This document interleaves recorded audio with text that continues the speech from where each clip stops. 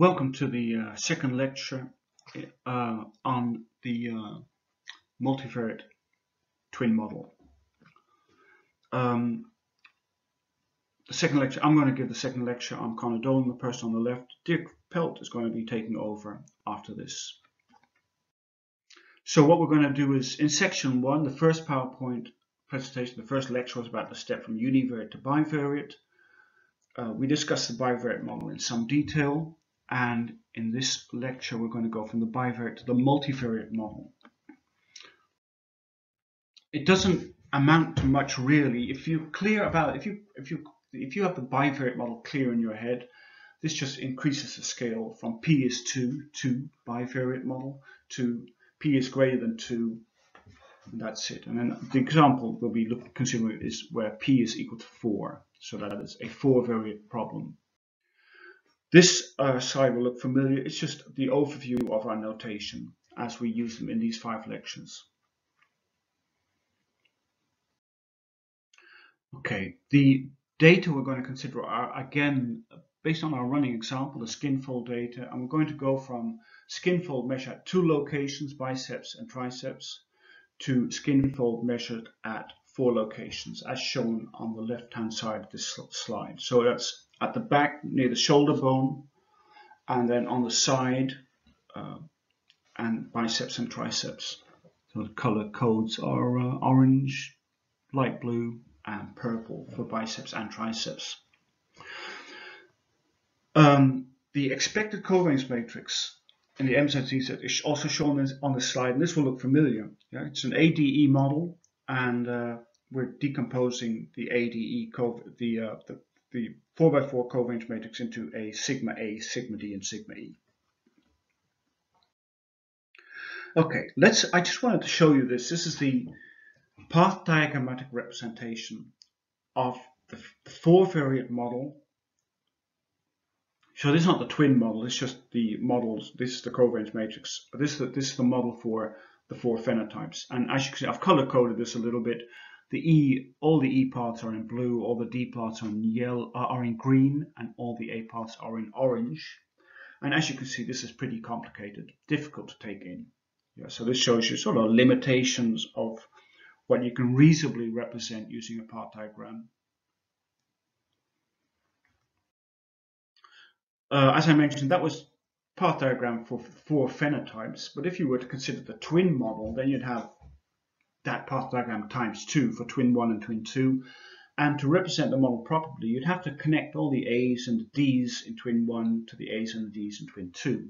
Yeah, that is within the phenotypes and across the phenotypes. Yeah, so that you can imagine that if you do that, uh, you're going to be adding a lot of double-headed arrows, and it will not really help the representation. It's just spaghetti to the power of 2. What we can do, however, is we can consider the contributions of A, D, and E separately to the phenotypic covariance of these four uh, phenotypes. So what we're going to start off with is the sigma A. What does that look like in terms of a path diagrammatic representations? And what I'm using here is the path coefficients representation. So this is not the way it fit the model, but this is certainly how you can represent the model. So the sigma A is the additive genetic covariance matrix of these four phenotypes. So it's a 4 by 4 covariance matrix. It has four variances, diagonal elements, and it has six covariances, the off-diagonal elements. The path diagrammatic representation, because its path coefficients uses the four path coefficients, so that's lowercase ab, lowercase at, lowercase as, and lowercase si, and the six correlations shown at the top. Okay, so this shows you the matrix sigma A 4 by 4 and represented in a path diagram using path coefficient parameterization. And obviously we can do this for the sigma A, we can do this for sigma D. And this is not really adding anything new because the sigma D is what 4 by 4 contains four variances and six covariances and in the representation using path coefficients, what we get is the four path coefficients dB, dt, ds, and dsi, and the six correlations shown on the top. Okay, so that's nothing uh, new really. If you understand this for sigma A, then you're going to understand for sigma.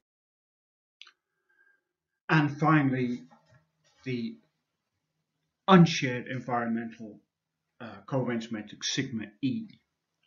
Again, it has it's four by four. It has it contains six covariances and three variances, and in the path diagrammatic representation, the elements in sigma E are represented or a function of the four path coefficients EB, ET, ES, and ESI, and the six correlations between the unshared environmental effects. Okay, so more of the same really. I would like to take use this slide to remind you that when we talk about unshared environmental effects, we mean unshared by twin 1 and twin 2, yeah, not shared by the twins.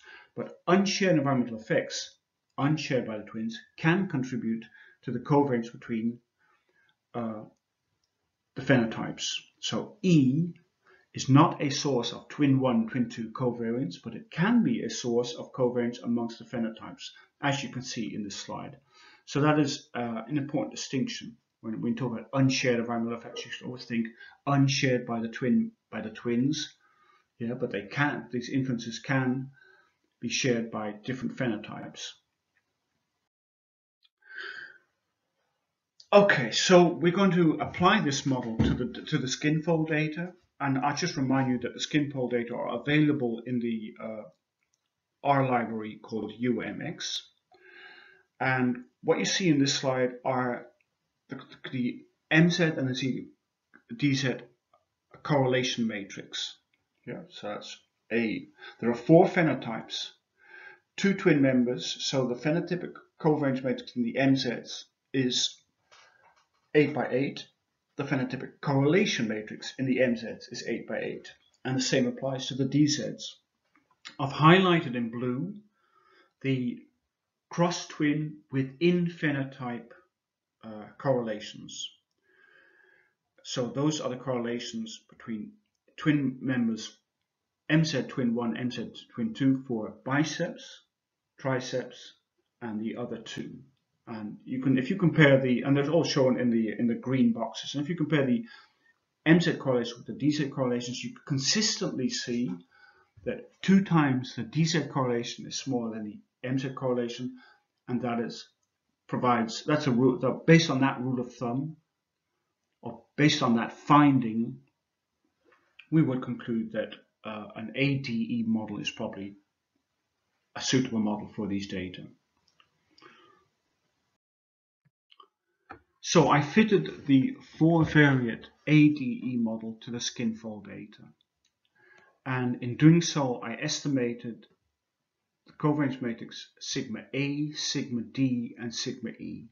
On this slide, I'm only considering the sigma A. So that is a 4x4 covariance matrix. On the diagonal, we have the additive genetic variances. In the off diagonals, we have the additive genetic covariances. But I can standardize this matrix, the sigma A, and that will give me RA. Yeah, could, there's a function in R called cov2cor, and if the argument is a covariance matrix, then it automatically standardizes it for you. So in this slide, top left, you can see the genetic correlation matrix.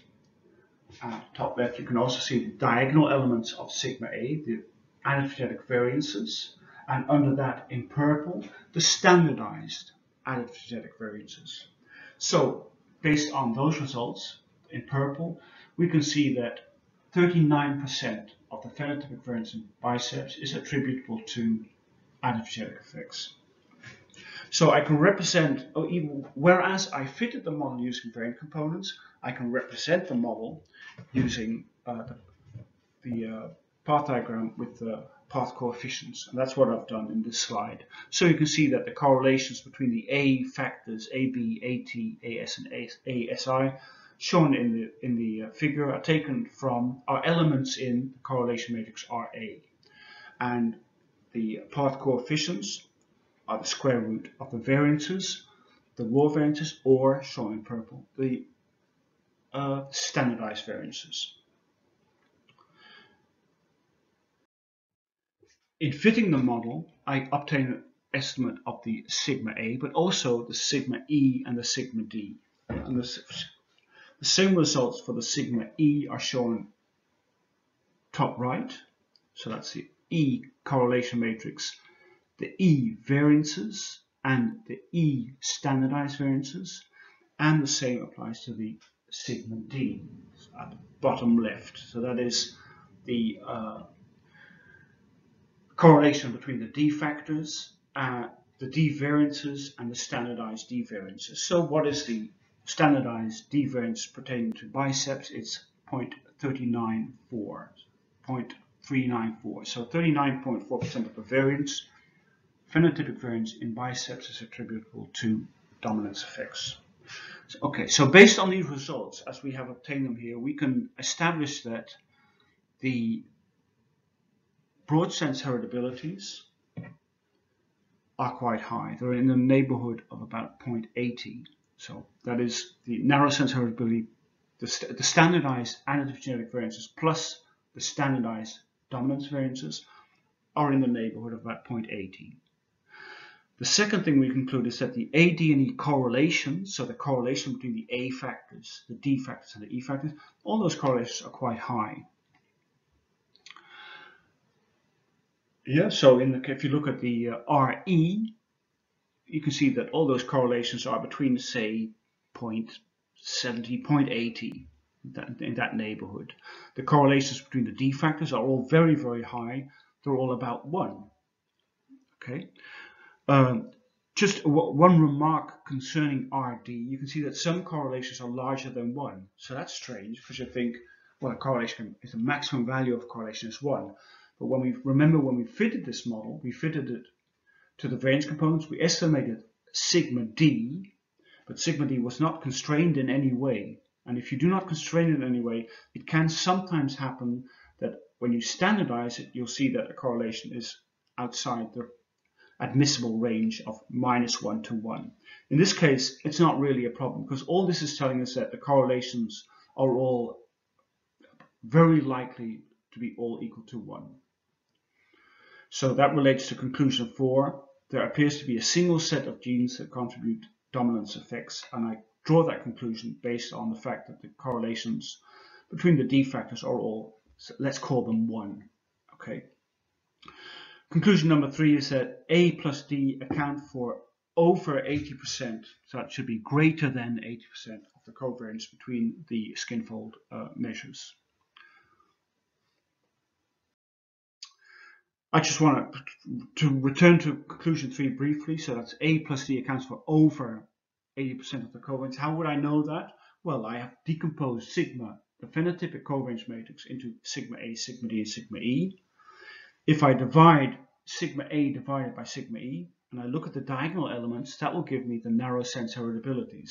But if I look at the off-diagonal elements of sigma A divided by sigma phenotype, that will give me an idea of how much antigen variance, how, how much antigen factors contribute to the uh, phenotypic covariances. And if I do the same for A plus D divided by the phenotypic covariance matrix, so sigma A plus sigma D divided by the phenotypic covariance matrix sigma phenotype, I can see that all the off-diagonal elements are greater than 0.80. So I know that A plus D account for over 80% of the covariance between the four phenotypes. so that's what you can see on this slide uh, on the uh, on the left is actually sigma A plus sigma D divided by the phenotypic covariance matrix sigma pH, sigma phenotype. So you can see and shown in green are the heritabilities, the broad sense heritabilities, and shown in red the off diagonals that shows us the contribution of A and D to the phenotypic covariances as proportions. So over 80% of the phenotypic covariances attributable to A plus D influences.